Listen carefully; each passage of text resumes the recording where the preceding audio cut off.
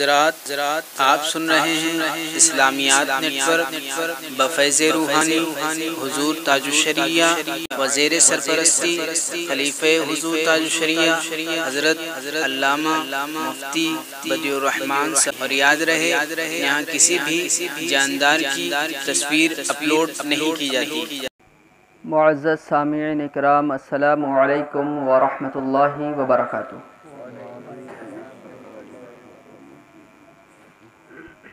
نحمده ونصلي ونسلم على رسوله الكريم. أما بعد فأعوذ بالله من الشيطان الرجيم. بسم الله الرحمن الرحيم. ولا تقولوا لمن يقتل في سبيل الله أموات بل أحياء ولكن لا تشعرون. صدق الله العظيم وصدق رسوله النبي الأمين المتين الكريم ونحن على ذلك لمن الشاهدين والشاكرين والحمد لله رب العالمين کچھ سننے سنانے سے پہلے آئیے ہم سب مل کر اپنے آقا و مولا مدینے کے تاجدار احمد مختار۔ شفیع روز شمار احمد مشتبہ محمد مصطفیٰ۔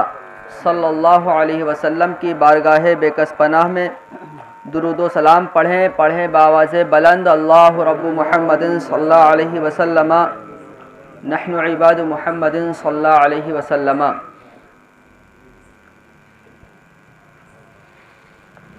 سرتاب قدم ہے تن سلطان زمن پھول، سرتاب قدم ہے تن سلطان زمن پھول، لب پھول، دہن پھول زقن پھول، بدن پھول۔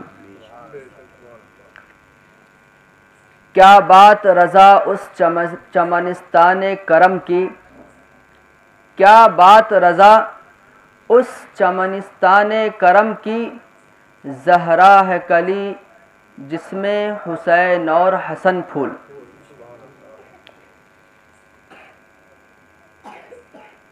ہم اور آپ اور جو بھی حضرات اس محفل میں اپنے گھروں میں بیٹھ کر اور ہماری پردہ نشی مائیں اور بہنیں اپنے گھروں سے اس مبارک محفل سے بہرور ہو رہے ہیں۔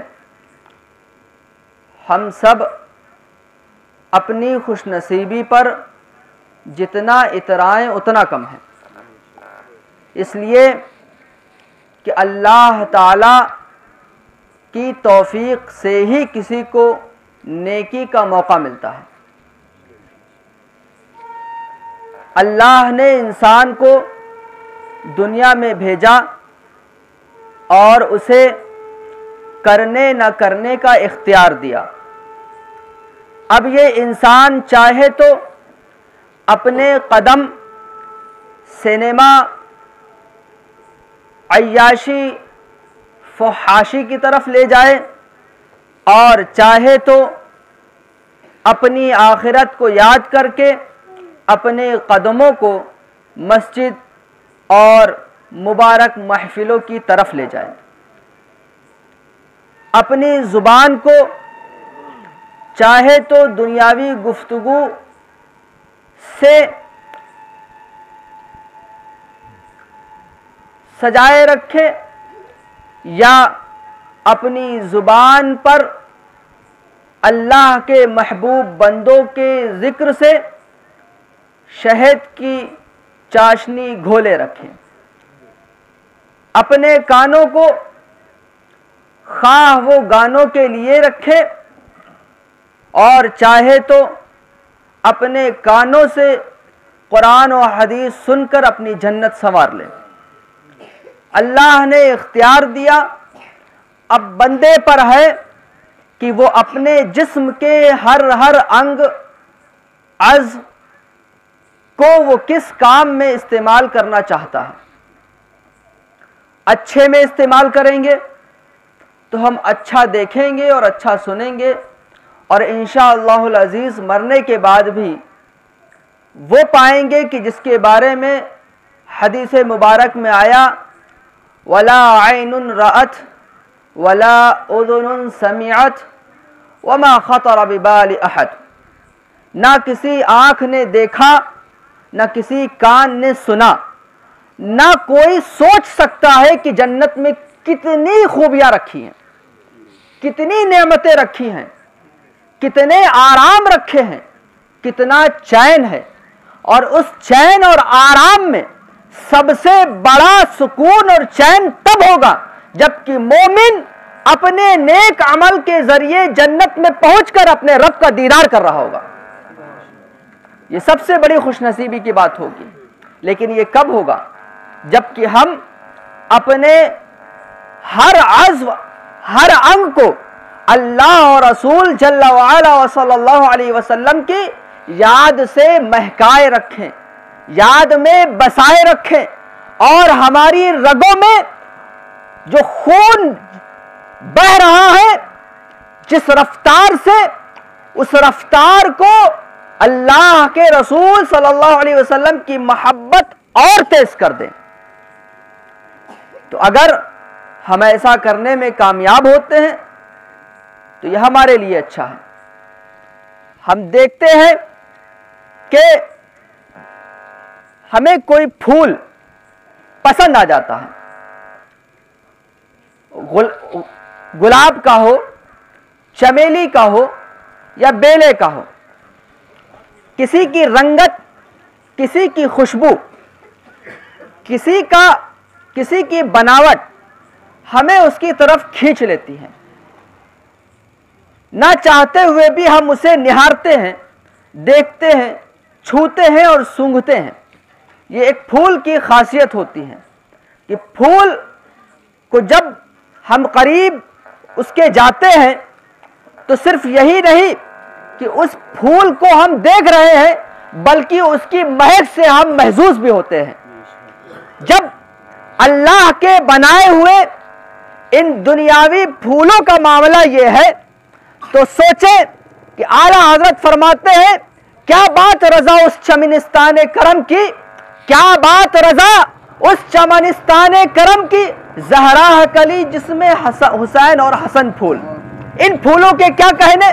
حدیث مبارک میں آیا ہے کہ اللہ کے رسول صلی اللہ تعالی علیہ وسلم حضرت امام حسن اور حضرت امام حسین کو گود میں لیے ہوئے ہیں اور فرما رہے ہیں کہ یہ میرے دو لاڈلے، یہ جنتی پھول ہیں۔ تو انہیں تو جنتی پھول حدیث طیبہ میں ارشاد فرمایا گیا۔ اور معلوم یہ ہوا کہ جب دنیا کی پھول میں یہ تاثیر کہ اس کی رنگت ہمارے دل کو موہ لیتی ہے، اس کی خوشبو ہمارا دل کھینچ لیتی ہے، ہمارا ذہن و دماغ معطر ہو جاتا ہے اور اچھی خوشبو سو کر ہم کہہ اٹھتے ہیں، واہ، کتنی عمدہ خوشبو ہے۔ ذرا سوچیں کہ ان پیارے پیارے پھولوں کو دیکھ کر کتنے لوگوں کے دل مچلتے ہوں گے۔ کتنے خوش نصیب ہیں وہ لوگ جنہوں نے ان جنتی پھولوں کو اپنی آنکھوں سے دیکھا ہے۔ اور قربان جائیں کہ جنہیں دیکھ کر تسکین ہوتی ہے، خود ان پھولوں کا عالم کیا ہوگا۔ اور انہیں تو اللہ کے رسول صلی اللہ علیہ وسلم نے ان کے بچپنے میں ہی ان کی جنت کی بشارت دے دی کہ یہ تو جنتی پھول ہے یہ میرے لاڈلے ہیں اور یہ مجھ سے ہے میں ان سے ہوں۔ جو ان سے محبت کرے، اے اللہ تو ان سے محبت کر، اور جو ان کو ناراض کرے، اے اللہ تو اس سے بھی ناراض ہو جا۔ یہ عالم ہے ان کی محبت کا۔ تو جو امام حسن اور حسین رضی اللہ عنہما کا شہدائی ہے، وہ اللہ سے محبت کرنے والا تو ہے ہی، بلکہ یہاں تو اللہ خود ان سے محبت فرماتا ہے۔ کہ جو اہل بیت اطہار، صحابہ کرام اور اللہ کے رسول صلی اللہ علیہ وسلم کے ارد گرد رہنے والے معزز صحابہ کی جماعت سے محبت کرتا ہے۔ وہی لوگ راہ پر ہیں اور وہی لوگ نجات پانے والے ہیں۔ اللہ کے رسول صلی اللہ علیہ وسلم نے ارشاد فرمایا کہ اللہ نے مجھ سے ارشاد فرمایا کہ اے میرے حبیب، تمہارے صحابہ تمہارے ارد گرد رہنے والے، یہ تمہاری صحبت سے فائدہ اٹھانے والے، یہ صحابہ، یہ میرے نزدیک آسمان کے ستاروں کی طرح ہیں۔ تو جو بھی ان ستاروں سے محبت کرے گا، جو بھی ان ستاروں کے نقش قدم پر چلے گا، وہ میرے نزدیک ہدایت پر ہے اور جنتی ہے فرماتے ہیں صحابی کا نجوم بھی اقتدائی تم احتدائی تم میرے تمام صحابہ، یہ نجوم ہیں، ستارے ہیں، تم جس ستارے کی پیروی کرو گے، ہدایت پا جاؤ گے، راستے پر آ جاؤ گے۔ اور اہل بیت اطہار کے تعلق سے اللہ کے رسول صلی اللہ علیہ وسلم نے حضرت علی رضی اللہ عنہ، حضرت فاطمہ زہرہ رضی اللہ تعالی عنہ حضرت امام حسن اور حسین رضی اللہ تعالی عنہما،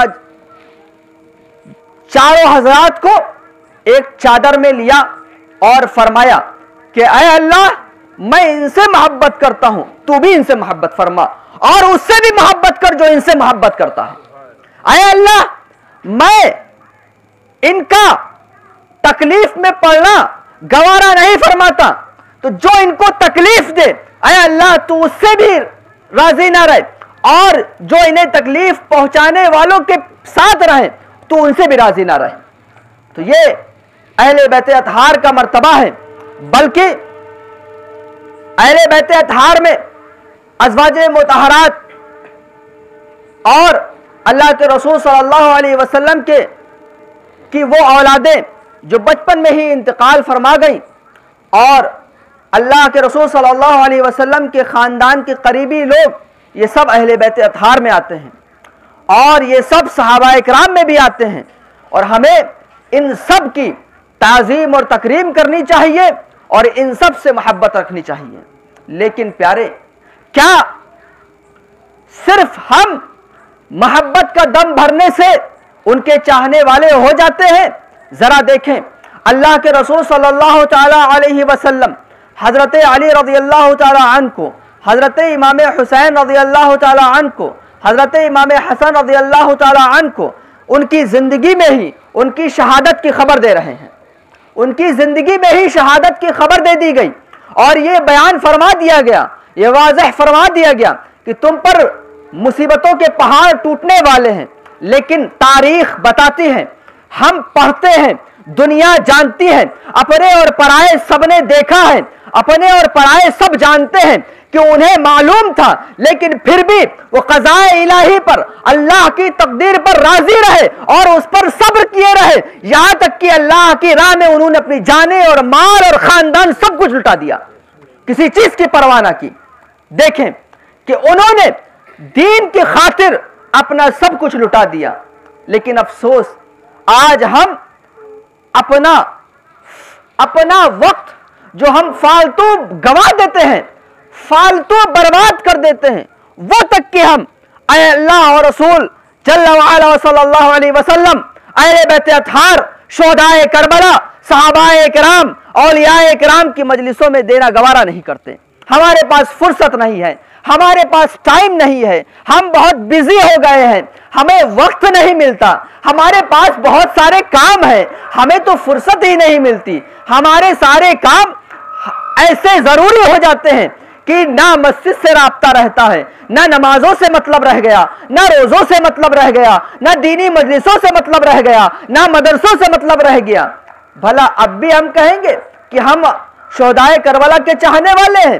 وہاں تو جانے نہیں، بلکہ سب کچھ لٹا دیا گیا۔ یا ہم سے وقت مانگا جاتا ہے، تو ہم وقت بھی لٹانے کو تیار نہیں۔ ذرا دیکھیں، اللہ تعالیٰ قرآن مجید میں ارشاد فرماتا ہے، وَلَنَبْلُوَنَّكُمْ بِشَيْءٍ مِّنَ الْخَوْفِ وَالْجُوعِ وَنَقْصٍ مِّنَ الْأَمْوَالِ وَالْأَنفُسِ وَالثَّمَرَاتِ وَبَشِّرِ الصَّابِرِينَ الَّذِينَ إِذَا أَصَابَتْهُمْ مُصِيبَةٌ قَالُوا إِنَّا لِلَّهِ وَإِنَّا إِلَيْهِ رَاجِعُونَ۔ اے محبوب، آپ فرما دیں کہ اللہ تعالیٰ تمہیں ضرور ضرور آزمائے گا اور یہ آزمائش کیسے ہوگی؟ کبھی تمہیں ڈرا کر، کبھی تمہیں بھوکا رکھ کر، کبھی تمہیں پیاس دلا کر، کبھی تمہارے مال و دولت کو نقصان پہنچا کر، کبھی تمہاری مال و دولت سے، کبھی تمہاری اولاد سے، کبھی تمہارے پھلوں اور کھیتیوں سے، کبھی تمہارے کاروبار سے۔ غرض کے تمہاری ہر طرح سے آزمائش ہوگی۔ تو خوشخبری دے دو اے محبوب۔ جو لوگ میری میری میری طرف سے ہونے والی آزمائش پر ثابت قدم رہتے ہیں اور اس وقت بھی مجھے بھولتے نہیں اور کہتے ہیں، ہم اللہ کے ہیں اور سب کچھ اللہ کا ہے اور ہمیں اللہ ہی کی طرف پھرنا ہے۔ انہیں خوشخبری دے دیں، لیکن یہ خوشخبری کسے ملے گی؟ یہ خوشخبری کسے ہے؟ یہ جنت کی بشارت کسے ہے؟ اللہ کی رضا کسے ہے؟ اللہ کی خوشنودی کسے مل رہی ہے؟ یہ صابر کون ہے؟ یہ شاکر کون ہے؟ وہ جو اللہ کی طرف سے پہنچنے والی آزمائش پر ثابت قدم رہے۔ وہ جو اللہ کی آزمائش پر صابر و شاکر رہے وہ جو اللہ کی آزمائش اور آزمائش پر اوف نہ کہے وہ جو اللہ کی آزمائش پر شکایت نہ کرے بلکہ وہ ہر وقت، ہر حال میں اللہ کی تقدیر پر، اللہ کی رضا پر راضی رہے ہماری ہمیں تو اگر ایک پہلو سے آزما لیا جائے، تو ہم شکایتیں کرنے لگتے ہیں۔ ذرا امام حسین کی شہادت تو دیکھو، ذرا امام حسین کی قربانیاں تو دیکھو۔ اللہ تعالیٰ فرماتا ہے، ہم تمہیں خوف سے آزمائیں گے۔ دیکھو، حضرت امام حسین اپنے گھر خاندان کو ہی نہیں، بلکہ اپنے نانا کا دیار بھی چھوڑ رہے ہیں۔ اور دشمنوں کا خوف بھی خوف بھی ہے۔ راستے کی دشواریاں بھی ہیں۔ اہل خانہ کی پریشانیاں بھی ہیں۔ بچوں کی بلکتی آہیں بھی ہیں۔ بچوں کی بھوک اور پیاس بھی ہے لیکن اپنے نانا جان کے دین کے لیے وہ سفر پر نکل پڑے۔ ہر طرح کے مسائب و عالم جھیلنے، جھیلنا، جھیلنے کو تیار ہو گئے۔ کس لیے؟ اپنے نانا کے دین کے لیے۔ اپنے ہم سب کو، ہم سب کو یہ دین اسلام صحیح و سالم، سچا جیسا اترا تھا ویسا پہنچانے کے لیے وہ چند اپنے اہل خانہ کے ساتھ سفر پر، اپنے پیارے دیار کو اپنے نانا جان کے پیارے مزار کو چھوڑ کر رخصت ہو رہے ہیں۔ خوف سے بھی آزمایا گیا۔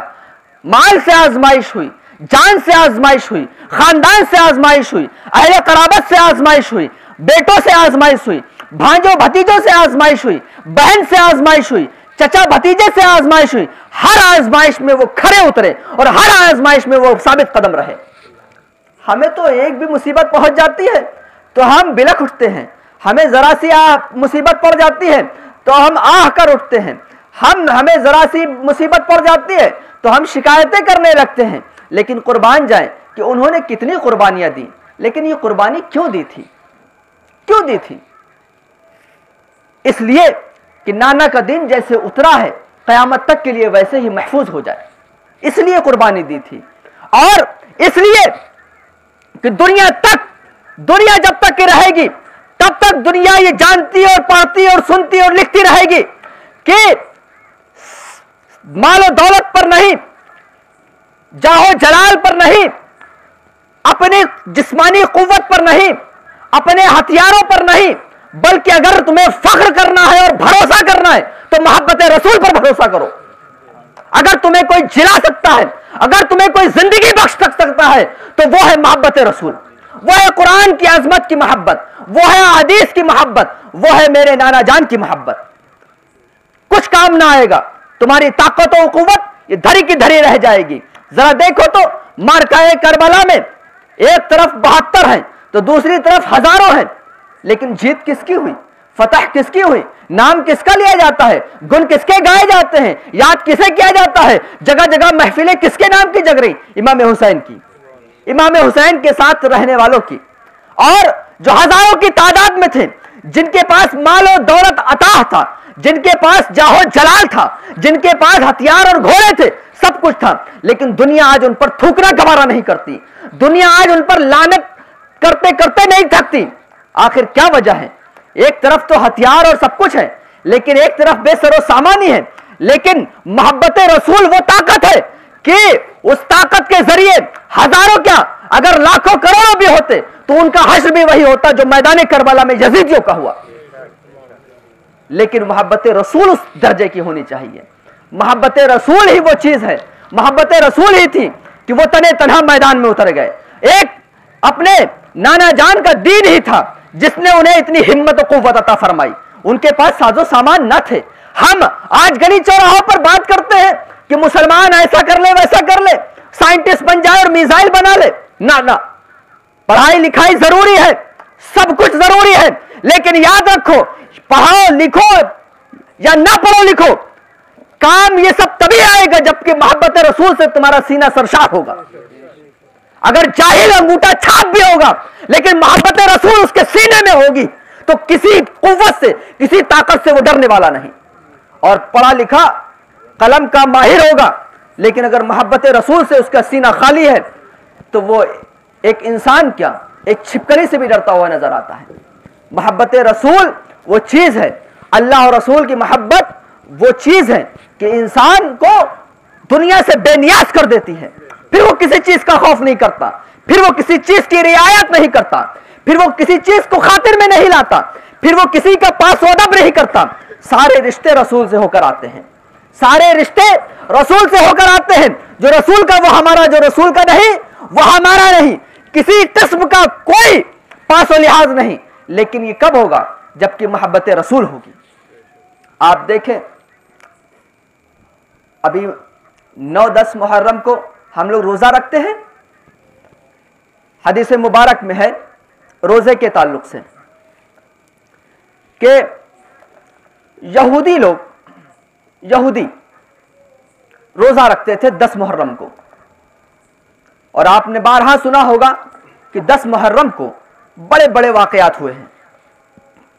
یوم عاشورہ، حضرت نوح علیہ السلام کی کشتی کا معاملہ ہو، حضرت موسا علیہ السلام کی قوم کا معاملہ ہو، بہت سارے واقعات اس میں رونما ہوئے۔ تو یہودی اس لیے یہودی روزہ رکھتے تھے۔ اللہ کے رسول صلی اللہ علیہ وسلم نے پوچھا کہ یہ کون سا روزہ ہے؟ تو انہوں نے کہا کہ موسا علیہ السلام کی قوم کو اللہ تعالیٰ نے نجات دی، اس خوشی میں ہم روزہ رکھتے ہیں۔ کیا کہا انہوں نے؟ کہ اس خوشی میں کہ موسا علیہ السلام کی قوم یعنی ہم لوگوں کو نجات ملی۔ تو اس خوشی میں ہم روزہ رکھتے ہیں۔ خوشی میں روزہ رکھتے ہیں۔ یہ چیز یاد رکھیے گا۔ خوشی میں روزہ رکھتے ہیں، نجات ملی ہے نا؟ کافروں سے، دشمنوں سے نجات ملی تو کیا کریں گے؟ روزہ رکھیں گے۔ تو نجات ملنے کی جو خوشی ہے، اس کا اظہار وہ روزہ رکھ کر کے کر رہے ہیں۔ تو اللہ کے رسول صلی اللہ علیہ وسلم نے ارشاد فرمایا، ہم تو زیادہ حقدار ہیں موسیٰ علیہ السلام کے۔ ہم تو زیادہ حقدار ہیں، تو ہم بھی روزہ رکھیں گے۔ اور ارشاد فرمایا، لیکن ایک روزہ اور رکھیں گے تاکہ یہودیوں کی مخالفت ہو جائے۔ یہ نہ ہو کہ یہودیوں کی طرح ہم لوگ روزہ رکھ رہے ہیں یا یہودیوں کے ساتھ ہیں۔ ایک روزہ اور بڑھا لو اور دو روزے رکھیں گے یہودیوں کی مخالفت بھی ہو جائے۔ دو باتیں ہیں کہ موسا علیہ السلام کی قوم یہود روزہ رکھتے تھے۔ تو یہ ایک اچھا کام تھا۔ تو اللہ کے رسول صلی اللہ علیہ وسلم نے اس لیے کہ یہ یہودیوں کا کام ہے، ہم سے کیا لینا دینا؟ تو روزے سے منع نہیں کیا۔ روزہ رکھو۔ ہم تو زیادہ ہم تو زیادہ حقدار ہیں موسیٰ علیہ السلام کے۔ یہ تو خوشی کا موقع ہے ہی ہے۔ وہ کس لیے رکھتے ہیں؟ وہ ایک الگ چیز ہے۔ لیکن موسیٰ علیہ السلام کو اور موسیٰ علیہ السلام کی قوم کو نجات دی گئی۔ تو اللہ کے رسول صلی اللہ تعالی موسیٰ علیہ السلام ہو یا عیسیٰ علیہ السلام ہو، جتنے بھی انبیاء کرام ہیں، یہ سب اپنی اپنی قوموں کی طرف۔ لیکن اللہ کے رسول صلی اللہ علیہ وسلم ساری دنیا کی طرف رسول بنا کر بھیجے گئے۔ تو موسیٰ علیہ السلام اور موسیٰ علیہ السلام کی قوم یہ سب حضور کی امت میں ہے۔ یہ سب حضور کی امت ہے۔ تو اللہ کے رسول صلی اللہ علیہ وسلم نے فرمایا یہ تو ہماری بھی خوشی کا دن ہے، لیکن روزہ رکھیں گے ہم بھی، لیکن ایک روزہ اور بڑھا کر، تاکہ مخالفت ہو جائے۔ ذرا دیکھو کہ روزے کو بڑھا کر مخالفت کی۔ لیکن کی؟ لیکن کی؟ مخالفت کی۔ اور روزہ رکھ کر کے، ایک بڑھا کر کے مخالفت کی۔ اب آپ ایک اور حدیث مبارک سنیں کہ اللہ کے رسول صلی اللہ علیہ وسلم نے ارشاد فرمایا کہ جب امامہ باندھو تو ٹوپیوں کے اوپر باندھا کرو۔ امامہ، پگڑی۔ جب امامہ باندھو، صافہ باندھو تو ٹوپیوں پر۔ اس لیے کہ جو مشرقین ہے جو غیر مسلم ہے وہ جو امامہ باندھتے ہیں بغیر ٹوپی کے، تو ان کی مخالفت کرو اور ٹوپی پر امامہ باندھو۔ اب آپ سمجھ رہے ہیں؟ تو یہ دو حدیثیں سن لیا آپ نے؟ ان دو حدیثوں سے کیا معلوم ہوا؟ کہ ہمیں مخالفت کا ذہن دیا گیا اور یہ ارشاد فرمایا گیا کہ تم اپنے آپ کو دوسروں سے الگ رکھو، تم مسلمان ہو۔ سما کم المسلمین، اللہ ہے جس نے تمہارا نام مسلمان رکھا ہے۔ اللہ نے تمہارا نام مسلمان رکھا ہے۔ تو تم ہر قوم سے بالکل ممتاز اور بہتر دکھو اور سب سے اچھے دکھو۔ سب سے اچھے دکھو۔ الگ کا مطلب یہ نہیں کہ سب سے ہٹ کے چلو۔ بالکل ہٹ کے۔ جو دنیا نہ کرتی ہو وہ تم کرو۔ نہیں، الگ دکھو۔ تمہاری ایک اپنی شان ہو۔ تمہارا ایک اپنا انداز ہو۔ تمہارا ایک اپنا جلوہ ہو۔ تمہارا ایک اپنا لہجہ ہو۔ تم اپنے تمہارا لہجہ مدنی لہجہ ہو۔ تمہارا انداز مدنی انداز ہو۔ تمہارا لہجہ حجازی لہجہ ہو۔ ہاں تو کیا فرمایا؟ کہ تم ان کی مخالفت کرو، یہود کی مخالفت کرو۔ ایک حدیث مبارک اور سنیں۔ فرمایا کہ اپنے گھروں کی دہلیزیں، دہلیز، اپنے گھروں کی دہلیزیں صاف رکھو اور یہودیوں کی مخالفت کرو۔ تو دہلیز صاف رکھنا یہ مسلمانوں کی پہچان ہے۔ دہلیز صاف رکھنا یہ مسلمانوں کی پہچان ہے۔ اور دہلیز گندی رکھنا یہ یہودیوں کی پہچان تھی۔ یہودیوں کی پہچان۔ تو کیا فرمایا؟ کہ مخالفت کرو؟ اب آپ دیکھیں، روزہ رکھ کر، امامے کے امامے کے نیچے ٹوپی رکھ کر، اپنی دہلیز صاف رکھ کر، ہمیں کیا ذہن دیا گیا؟ کہ مخالفت کرو۔ دوسروں جیسے نہ رہو، کہ یہودی، عیسائی کھڑے ہو جائیں تو پہچان میں نہ آئے کہ کون مسلمان ہے، کون یہودی، کون عیسائی۔ اب تین حدیثیں آپ نے سن لی، چوتھی سن لیجیے قص الشوارب وعف اللحا وخالف المشرکین قص الشوارب وعف اللحا وخالف المشرکین مونچھے پست کرو. ہلکی، بالکل موڑنا نہیں ہے. پست کرو. ہلکی کرو. قص الشوارب. مونچھے پست کرو، ہلکی کرو. داڑھیوں کو بڑھاؤ. ایک مشتق.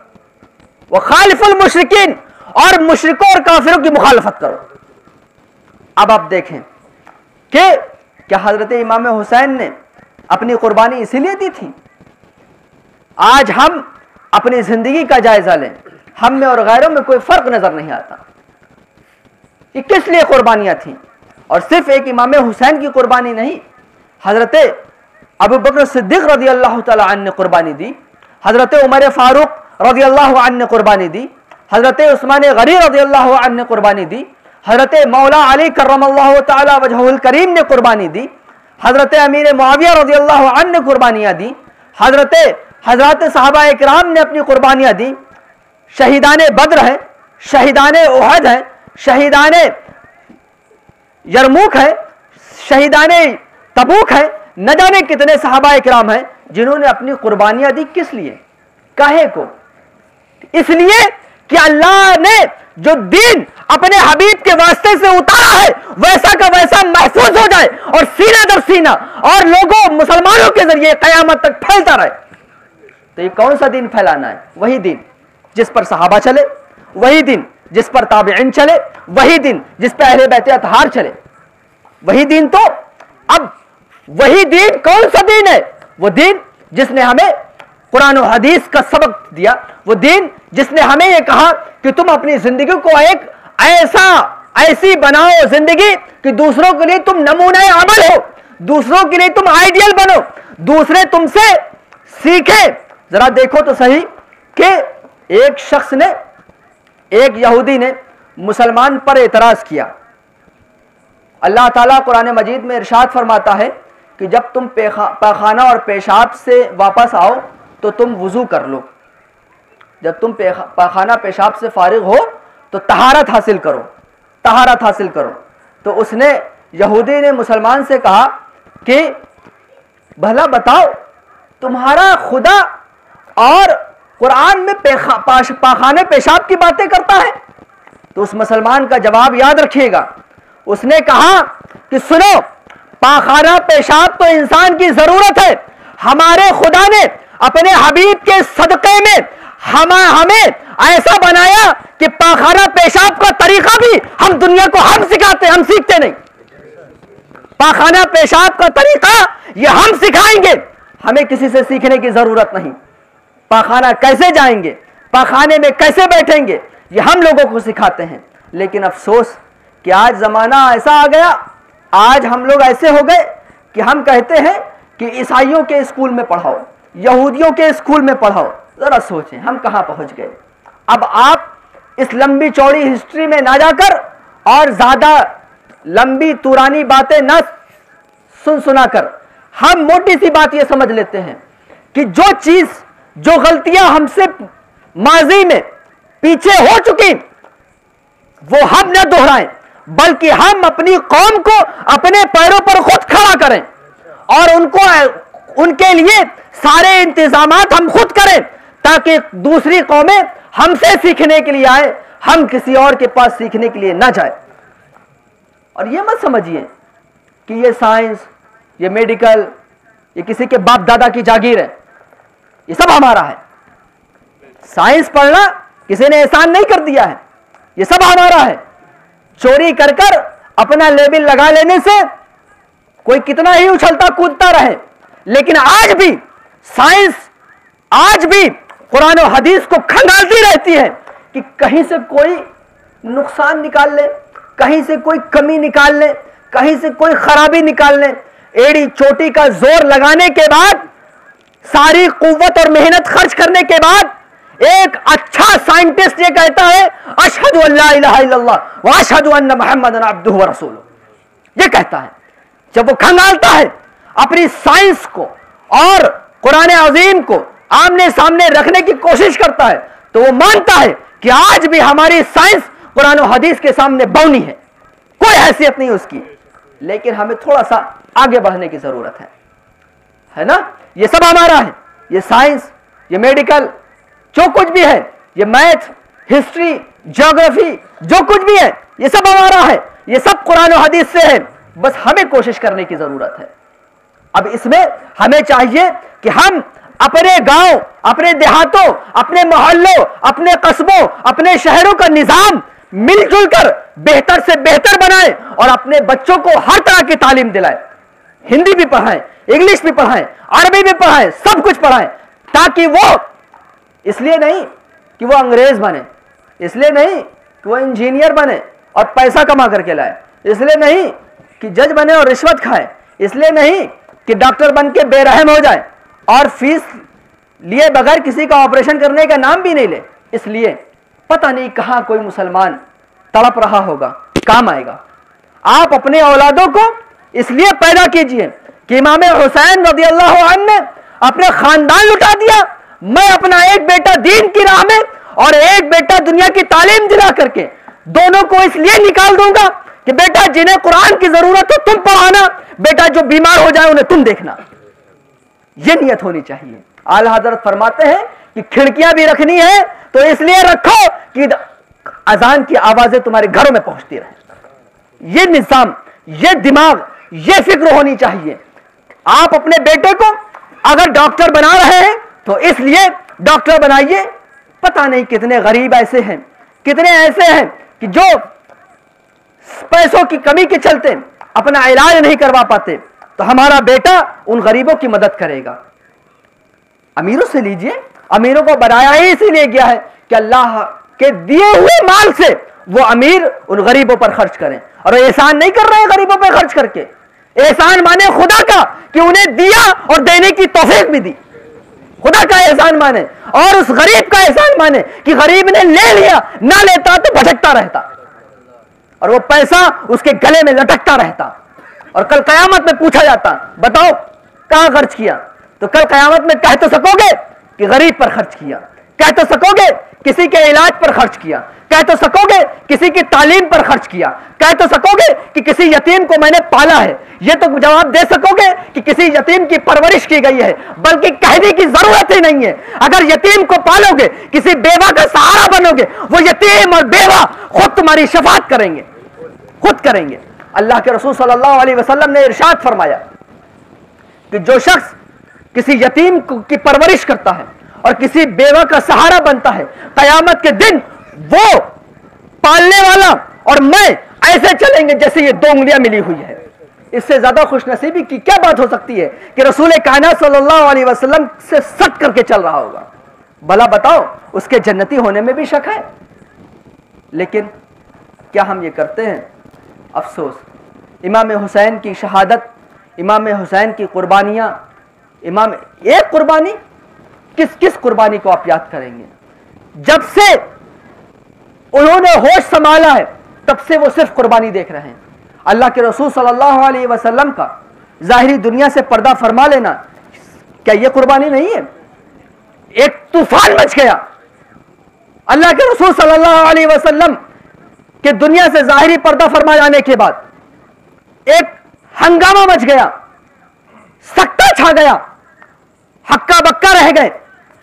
اور انہی میں حضرت امام حسن اور حسین بھی تو ہیں، جو اپنی نانا جان کی گود میں ابھی سلیقے سے کھیل بھی نہیں سکے۔ ہے نا؟ تو اب آپ دیکھیں کہ صرف یہی نہیں، پھر ان کی والدہ کا انتقال ہے، پھر ان کے والد کا انتقال ہے، پھر امام حسین کے ساتھ اپنے بڑے بھائی کا انتقال ہے، پھر اپنے نانا جان کے دیار کے چھوٹنے کا چھوٹنے کا غم ہے، پھر اپنے صحابہ اور اپنے دوستوں کا چھوٹنے کا غم ہے اپنے غموں، اپنے گھروں گھر بار اور اپنے جائیداد کے کا چھوڑنے کا غم ہے کہ اس گھر میں دولت کا غم نہیں، اس گھر میں نانا ہمیں کھلاتے تھے۔ آج بھی جنہیں اپنے پرانے گھروں سے محبت ہوتی ہے، انہیں ایسا لگتا ہے کہ آج ہم بھی اسی میں ٹہل رہے ہیں، اسی میں گھوم رہے ہیں۔ یہاں ہم کھیلتے تھے یہاں ہم ایسا کرتے تھے، وہ یاد کرتا ہے۔ آج وہ سارے لمحات جو ان کے دماغوں میں بسے ہوئے تھے۔ اس پیارے گھر کو چھوڑ کر کے جا رہے ہیں، ان گلیوں کو چھوڑ کر جا رہے ہیں، جہاں نانا جان ان کو کندھے پر لے کر گھمایا کرتے تھے۔ وہ سب کچھ چھوڑنا پڑ رہا ہے۔ وہ مدینہ جس کے تعلق سے اللہ کے رسول صلی اللہ علیہ وسلم نے ارشاد فرمایا، جس سے ہو سکے وہ مدینہ میں مرے۔ جس سے ہو سکے وہ مدینہ میں مرے۔ اور حضرت عمر یہ دعا کرتے تھے کہ آئے اللہ، مجھے شہادت دے اور مدینہ میں شہادت دے۔ اور مدینہ میں شہادت ہوئی۔ لیکن اس فضیلت کو مد نظر رکھتے ہوئے اس فضیلت کا دھیان رکھتے ہوئے بھی حضرت امام حسین اگر مدینہ سے نکلے ہیں تو کیوں اپنے نانا جان کے دین کے لیے؟ پھر سفر کی، کیا آج جیسا سفر تھا؟ سفر کی ساری مصیبتیں اٹھائیں، ہر چیز دیکھی پھر سارا کنبا لٹا دیا۔ کاہے کو؟ صرف دین ہم تک صحیح و سالم پہنچانے کو۔ آخر بات کیا تھی؟ بات یہی تو تھی کہ یزید کے ہاتھ پر ہاتھ نہ دیا، کیوں نہ دیا؟ کیوں نہ دیا؟ اس لیے نہیں دیا۔ یہ کیوں نہ دیا یہ یاد رکھے گا۔ ہمیشہ۔ اس لیے کہ بہت سے آج بیوقوف نہ ہنجار ایسے پیدا ہو گئے جو یزید کو بھی رضی اللہ عنہ معذ اللہ لکھنے لگے اور امام حسین کو برا کہنے لگے اور کہتے ہیں کہ امام حسین نفس کے لیے لڑے۔ اگر نفس کی نفس کی لڑائی تو یزید نے لڑی۔ کہ اگر وہ چاہتا تو وہ بہتر ہزاروں کے مقابلے میں کیا تھے؟ وہ چاہتا تو صلح کی بات بھی کر لیتا۔ وہ چاہتا تو بہت سارے راستے کھل جاتے، لیکن حضرت امام حسین کیوں نہیں جھکے؟ امام حسین نے گھٹنے کیوں نہیں ٹیکے؟ امام حسین نے ہاتھ کیوں نہیں بڑھا دیا؟ اس لیے کہ خلافت کا معاملہ ہے، بغاوت کا معاملہ ہے۔ ایک طرف خلیفت المسلمین ہے اور ایک طرف باغی اسلام ہے۔ اور بلا شبہ خلیفہ بننے کا حقدار ایک شرابی نہیں ہوتا ہے۔ خلیفہ بننے کا حقدار، امام بننے کا حقدار ایک جواری نہیں ہوتا ہے۔ امام بننے کا حقدار وہ نہیں ہوتا جس نے اپنی ماں بہنوں کو بھی حلال کر لیا ہو۔ ایک امام امام حسین جیسا ہوتا ہے۔ اور آخر اس وقت، اس روئے زمین پر حضرت امام حسین سے زیادہ علم رکھنے والا، متقی، پرہیزگار اور حضور سے زیادہ قرابت رکھنے والا کون تھا؟ کوئی نہیں۔ زیادہ حقدار ہر اعتبار سے۔ اگر یہ بھی کہا جائے کہ خاندانی ہوتی ہے وراثت وراثت میں ملتی ہے بادشاہت یا حکومت، تو بھی وہ زیادہ حقدار تھے کیونکہ وہ نواز رسول تھے۔ اگر خاندان کا اعتبار کیا جائے، تو بھی وہی زیادہ حقدار ہیں۔ لیکن وہاں تو خاندان کی بات نہ تھی۔ اگر خاندان کی بات ہوتی، تو امام حسن حضرت امیر معاویہ رضی اللہ عنہ سے سمجھوتا نہ کر لیتے۔ امام حسن بھی آ جاتے۔ وہ تو بڑے بھائی تھے۔ اور اس وقت تو لوگوں نے ان کو خلیفہ مان لیا تھا اور خلیفہ رہے۔ اور حضرت امام حسن چھ مہینے خلیفہ رہے۔ اور چھ مہینے بات ہے ایک خلیفہ کے لیے، جبکہ مدینہ اور مکہ اور سب حضرت امام حسن کی بیت کر چکے تھے۔ لیکن حضرت امام حسن نے کیوں سمجھوتا کیا؟ اس لیے کہ اللہ کے رسول صلی اللہ تعالی علیہ وسلم امام حسن کو گود میں لیے لیے آئے۔ اور جمعے کے دن اور ممبر پر تشریف فرما ہوئے اور اپنے بیٹے کو گود میں بٹھایا اور فرمایا، اور آپ تقریر کرتے جاتے، کبھی لوگوں کی طرف دیکھتے، کبھی حضرت امام حسن حسن کو پیار کرتے اور ان کی طرف دیکھتے، کبھی ادھر کبھی ادھر، اور پھر بیچ میں ارشاد فرمایا، تقریر کے بیچ میں بات کچھ چل رہی ہے، اور پھر اچانک ارشاد فرمایا کہ میرا یہ بیٹا، میرا یہ بیٹا، اللہ نے اسے اس عظمت سے نوازا ہے کہ یہ آگے چل کر دو مسلمانوں کی جماعت میں صلح کروائے گا۔ اور وہی ہوا کہ امام حسن رضی اللہ عنہ نے بڑی مسلمانوں کی جماعت کی خوریزی روک دی اور سمجھوتا اور صلح کر لیا اور مسلمانوں کو خون خرابے سے بچا لیا اور مدینہ کی زمین کو رنگین ہونے سے بچا لیا۔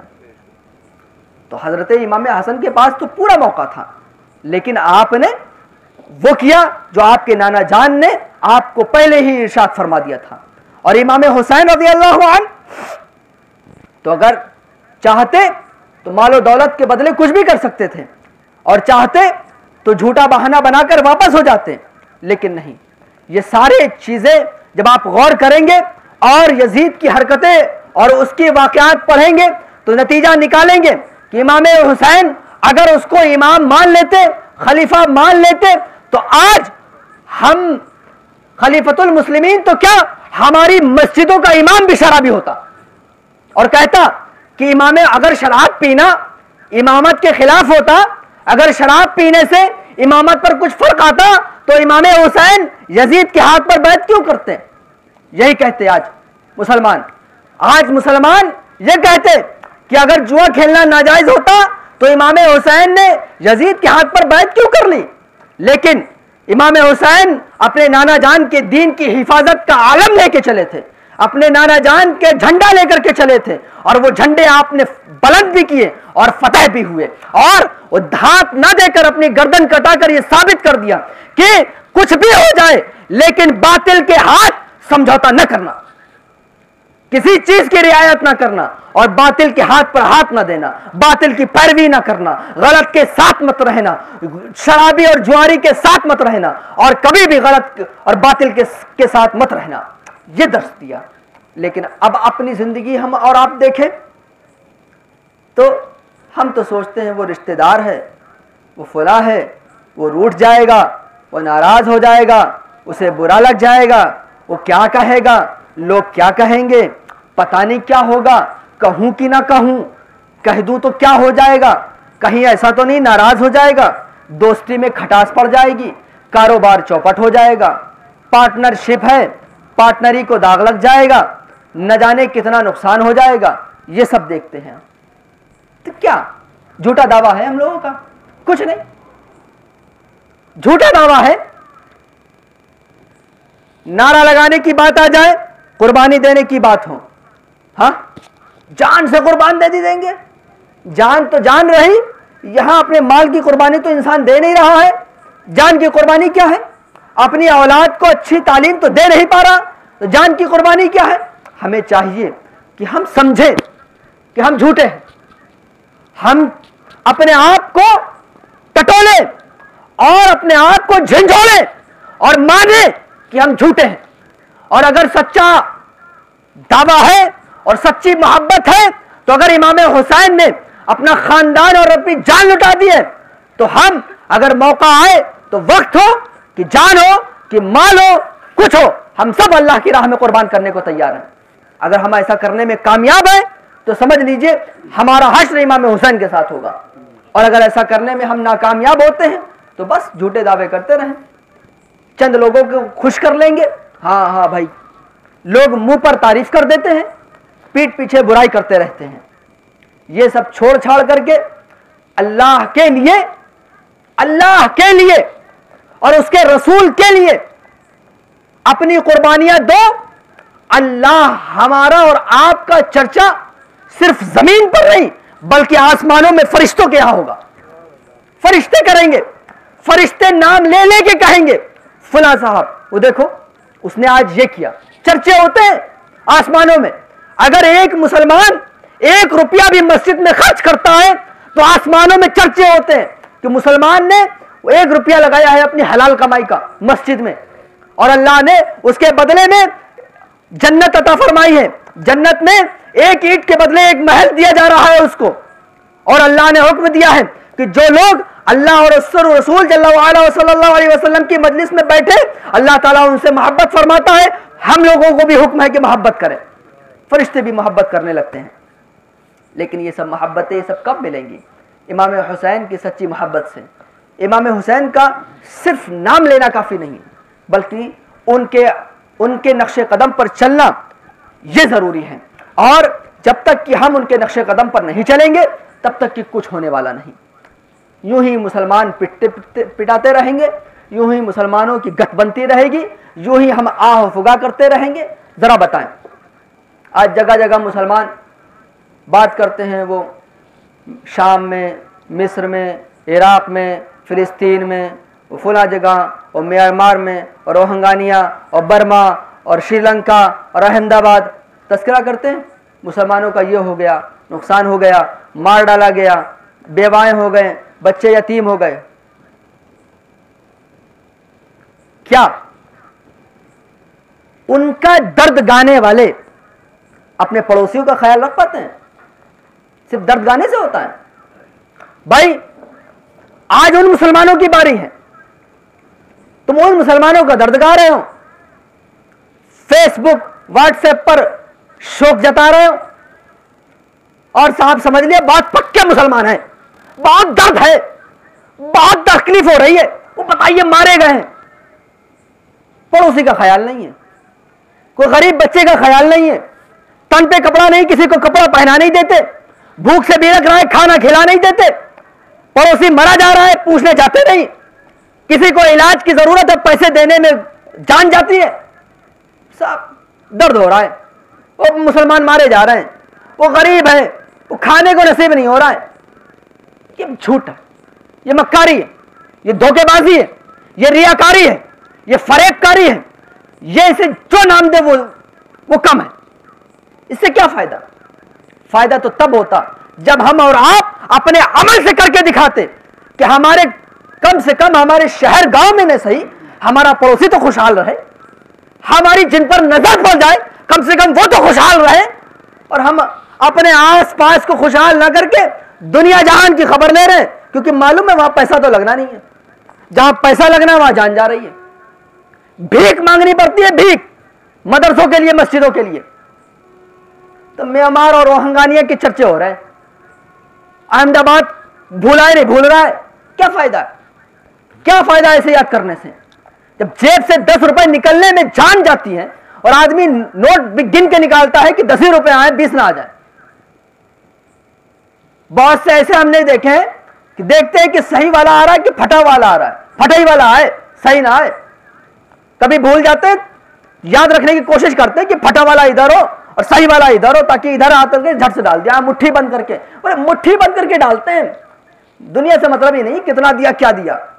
یہ حیال اور میامار کے جو ہے چرچے ہیں، کوئی فائدہ نہیں۔ کربلا کو یاد کرنے سے کوئی فائدہ نہیں۔ یہ ایک رسم ہے۔ یہ ایک ریتی رواج ہے جس پر ہم چل رہے ہیں۔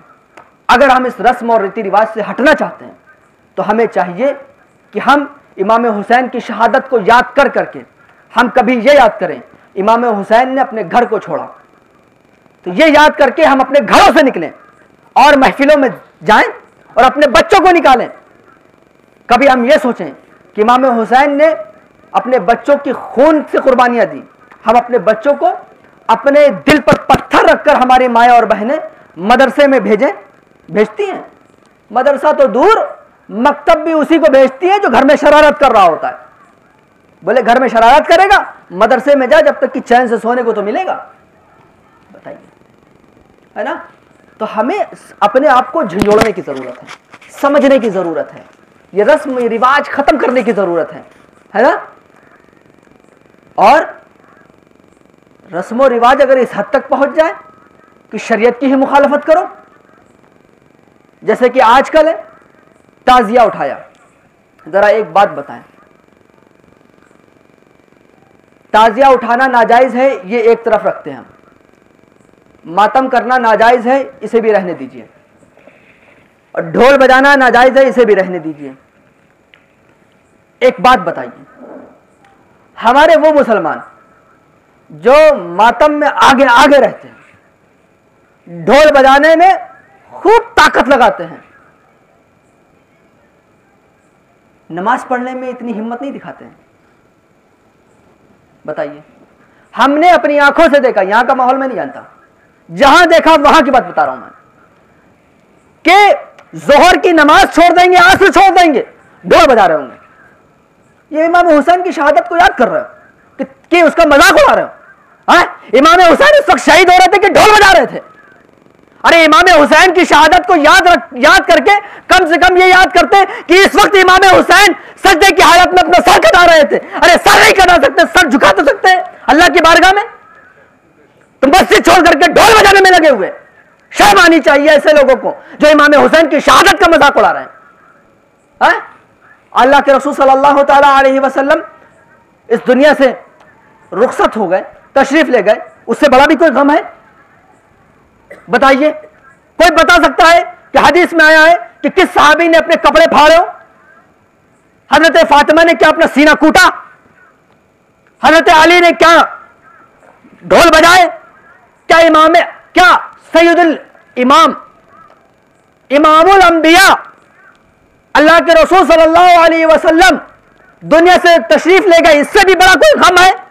حضرت فاطمہ رضی اللہ تعالی عنہ نے، جو کہ حضور صلی اللہ علیہ وسلم کی لخت جگر ہے جن کے بارے میں اللہ کے رسول صلی اللہ علیہ وسلم نے ارشاد فرمایا کبھی دی یہ میرے میرے جگر کا ٹکڑا ہے، یہ میری آنکھوں کی ٹھنڈک ہے۔ حضرت فاطمہ نے اپنے غم کا اظہار کیا تو یوں کیا، سبت علیہ مسائب، لو انہا سبت علی الایام سرنا لیالیہا۔ اور اشعار اور اشعار لکھیں۔ اس کا مطلب یہ ہوتا ہے کہ مجھ پر اتنی بڑی مصیبتیں پڑی ہیں کہ اگر دن پر پڑتی تو دن رات ہو جاتا۔ اتنی مصیبتیں پڑی۔ لیکن اتنی مصیبت پڑنے کے باوجود بھی کیا حضرت فاطمہ نے اپنے کپڑے پھاڑ لیے؟ کیا حضرت فاطمہ نے سینہ کھوٹا؟ کیا انہوں نے ماتم کیا؟ کیا صحابہ اکرام نے ڈھول بجایا؟ نہیں نا۔ حضرت ابو صدیق کا انتقال ہوا۔ حضرت عمر فاروق دنیا سے رخصت ہوئے۔ حضرت عثمان غنی کی شہادت ہوئی۔ حضرت مولا علی کی شہادت ہوئی۔ یہ ماتم کے قابل نہیں ہے۔ کیا امام حسین کا مرتبہ ہے؟ لیکن امام حسین کا مرتبہ اپنے باپ حضرت علی سے تو بڑھ کر نہیں ہے۔ بتائے تو اگر امام حسین کے نام پر ماتم ہو رہا ہے، تو امام علی مقام حضرت علی رضی اللہ عنہ کی جس دن وفات ہوئی، کیا ماتم کرتے ہیں؟ کیا ماتم کیا جائے؟ کہ ڈھول بجایا جائے؟ اور کیا امام حسن اور حسین نے کیا؟ نہیں۔ کیا ہے؟ مذاق اڑانا، شہادت کا۔ ارے، ہمیں تو فرصت ہی نہیں ہونی چاہیے۔ ہمیں فرصت کیسے مل گئی ڈھول بجانے کی؟ کیسے تماشا کرنے کی فرصت مل گئی؟ ہمیں تو اس وقت ذکر الہی میں ہونا چاہیے۔ کیا کربلا میں؟ کربلا کی رات کیا ہوا؟ کربلا کی رات جس صبح حضرت امام علی مقام کی شہادت ہوئی ہے، پوری رات تلاوت قرآن کی ہے۔ پوری رات تلاوت قرآن کی ہے۔ اور یہاں تو دس منٹ بیٹھنا دشوار ہے انسان کو۔ اور امام علی مقام کے بہت بڑے شادائی ہونے کا دعویٰ کرتے ہیں ہم لوگ۔ تو ہمیں چاہیے کہ ہم اپنے آپ کو ٹٹولے اور اپنے اندر جھانک کر کے دیکھیں، اپنے گریبان میں جھانکیں اور دیکھیں کہ ہم اپنی محبت میں کتنے سچے ہیں۔ اور امام علی مقام کی شہادت کتنا ہم اس پر غم مناتے ہیں۔ غم منانے کا طریقہ کیا ہے؟ یہ نہیں ہے۔ آپ ہمارے اور آپ کے درمیان اگر جس کے والدین ہیں، اللہ تعالیٰ ان کے والدین کا سایہ ان کے سروں پر تا دیر رکھے۔ لیکن جن کے والدین نہیں ہیں، وہ اپنے والدین کو کیسے یاد کرتے ہیں؟ اصال ثواب کر کے، نیک کام کر کے، صدقہ اور خیرات کر کے، اچھے عمل کر کے۔ ایسے ہی تو تو یاد کرنے کا اسلام نے طریقہ یہ بتایا ہے کہ تم اصال ثواب کرو اور نیک کام کرو۔ اب اسی حدیث کو پھر میں دہرا رہا ہوں کہ کیا فرمایا اللہ کے رسول صلی اللہ علیہ وسلم نے کہ خوشی مناتے ہو نا تو خوشی میں روزہ رکھ رہے، خوشی میں نجات ملی ہے نا۔ تو یزیدیوں سے ہم لوگوں کو نجات ملی اور اسلام محفوظ ہو گیا۔ تو روزہ رکھنا چاہیے نا۔ اور دو رکھیں تاکہ یہودیوں کی مخالفت ہو جائے۔ روزہ رکھنا چاہیے۔ نہ کہ جو ہے ڈھول تاشے میں اپنا وقت خرچ کر رہے ہیں۔ اور ظاہر سی بات ہے، جب آدمی کو معلوم ہے کہ آج ڈھول بجانا ہے، محنت کرنی تو روزہ تو رکھنے سے رہا۔ وہ آپ جانتے ہوں گے کہ کون روزہ رکھ رہا ہے، کون نہیں رکھ رہا ہے۔ روزہ ضروری نہیں ہے۔ لیکن اگر ڈھول بجانے میں محنت کر سکتا ہے، تو روزہ رکھنے میں محنت کیوں نہیں کر سکتا؟ بات یہ ہے، روزہ کوئی نہیں رکھ رہا ہے، کوئی غلط بات نہیں۔ بالکل شریعت نے کوئی پابندی نہیں رکھی ہے۔ نہیں رکھی، کوئی بات نہیں۔ وہ بلکہ نفلی روزہ ہے، کھلے عام بھی کھانا پینا چاہے تو کھا سکتا ہے۔ یہ کوئی فرض روزے کی طرح نہیں ہے کہ کھلے عام کھایا تو مارا جائے گا۔ لیکن روزے دار کے سامنے کھانا پینا بہتر نہیں ہے۔ ایک روزے دار ہے، مسلمان، آپ اس کے سامنے کھا پی رہے ہیں۔ غلط بات ہے نا۔ لیکن فرض تو نہیں ہے نا، نفل ہے۔ تو اگر تمہیں نفل روزہ رکھنے کی طاقت نہیں، تو ڈھول بجانے کی طاقت اور تازے اٹھانے کی طاقت تمہیں کہاں سے مل گئی؟ وہ طاقت تم یہاں خرچ کرتے ہیں اور امام حسین کو اس کا ثواب پہنچا دیتے ہیں۔ امام حسین اس سے زیادہ خوش ہوتے ہیں۔ روزہ رکھنے سے خوش ہوں گے، کیونکہ انہوں نے اسی لیے قربانی دی تھی کہ میرے نانا جان کے دین پر چل کر لوگ نمازی بنے، لوگ روزے دار بنے۔ حاجی بنے، پاجی نہ بنے۔ ہاں اس لیے قربانی دی تھی۔ تو ہمیں چاہیے کہ ہم نے اب تک اپنی زندگی میں حضرت امام علی مقام، صحابہ کرام شہدائے کربلا اور شہدائے اسلام، جن کی بھی شہادتیں ہم سنتے ہیں، یا سنی، یا پڑھی، یا ہمیں کسی نے بتائیں ان سب کو ہم دھیان میں رکھ کر ہم یہ دیکھیں کہ ہمارا بھی کچھ فرض بنتا ہے۔ ہم ان کے نقش قدم پر چلتے ہوئے کسی نہ کسی قسم کی جہاں بھی قربانی دینے کا موقع ہے، ہم قربان کریں۔ اللہ نے ہمیں مالدار بنایا ہے۔ تو اپنے مال سے یتیموں، بیواؤں، مسکینوں، بے سہارا، غریبوں کی مدد کریں۔ مسجد اور مدرسوں کو آباد کریں۔ اللہ نے ہمیں طاقت دی ہے، قوت دی ہے۔ تو اپنی طاقت و قوت کو ایک کمزور کو مارنے کے لیے نہیں، بلکہ اپنی طاقت و قوت کو اسلام جب کہے، تب کام میں لانے کے لیے باقی رکھیں۔ خرچ نہ کریں بلا وجہ اس کا حساب ہوگا۔ اپنی ہر چیز کو ہم بالکل محفوظ کر کے رکھیں۔ اور اسلام جہاں ہم سے کہے خرچ کرنے کو، وہاں خرچ کریں۔ ہر چیز کو۔ اور اپنا مزاج اسلامی بنائیں۔ اور اپنے آپ کو اسلام میں ڈھالیں۔ دور سے سمجھ میں آ جائے، یہ مسلمان ہے دیکھنے والا سمجھ جائے، مسلمان ہے آدمی کہ اٹھے، اسلام ہے۔ آج بھی ہم نے بہت ایسے مقام آئے کہ لوگ حیرت سے آ کے پھاڑ پھاڑ کے دیکھتے ہیں ہم لوگوں کی طرف۔ چھوٹی سی مدد کر دیجیے آپ، چھوٹی سی۔ ایک غیر مسلم کہتا ہے کہ مسلمان کتنے اچھے ہوتے ہیں۔ ایک غیر مسلم کہتا ہے، میں نے اپنے کانوں سے خود سنا ہے۔ آپ چھوٹی سی مدد کر دیجیے اس کی ذرا سی ہیلپ کر دیجیے کہتے ہیں مسلمان کتنے اچھے ہوتے ہیں۔ میں نے دیکھا ہے کہ میں ہوں اور دوسرے بھی کھڑے ہیں، لیکن سب کی طرف نگاہ دوڑا کر آخر وہ ہماری طرف آتا ہے۔ بھائی صاحب قلم دے دیجیے بھائی صاحب فارم بھر دیجیے بھائی صاحب سیٹ دے دیجیے بھائی صاحب تھوڑی مدد کر دیجیے بھائی صاحب یہ سارا سامان رکھوا دیجیے بھائی صاحب، یہ ذرا میں سامان چھوڑ کر جا رہا ہوں، ذرا دیکھتے رہیے۔ ایک مسلمان پر اتنا بھروسہ ہے۔ نظر دوڑا کے کہتا ہے، آخر کہتا ہے کہ یہ داڑھی والے ہیں، یہ ٹوپی والے ہیں، یہاں اپنی چیز سلامت رہے گی۔ اگر وہ جانتا ہے کہ مسلمان ہے تو دوسروں سے زیادہ مسلمان کو ترجیح دے گا۔ اللہ ماشاء اللہ اگر دل کی نفرت اسے کچھ اور کروائے تو اور بات ہے نا؟ تو ہمیں چاہیے کہ ہم وقت پر اپنے اسلام کو اس طریقے سے پیش کریں کہ دنیا اش اش کر اٹھے۔ اور لوگ حیرت سے نگاہیں، پھاڑ پھاڑ کے دیکھتے رہیں۔ وہ لوگ جو نفرت کرتے ہیں، کہ جن کے بارے میں سنتے تھے وہ یہ ہیں، یہی مسلمان، جنہیں ذرا جن کے جن کے دل اتنے نرم ہیں کہ وہ دوسروں کے لیے، اپنوں کے لیے کیا پرایوں کے لیے بھی جگہ رکھتے ہیں۔ ایسا اپنے آپ کو ڈھالنا چاہیے، ایسا ماحول بنانا چاہیے۔ اگر ہم یہ کر سکتے ہیں تو ہم سچے امام حسین کے چاہنے والے ہیں۔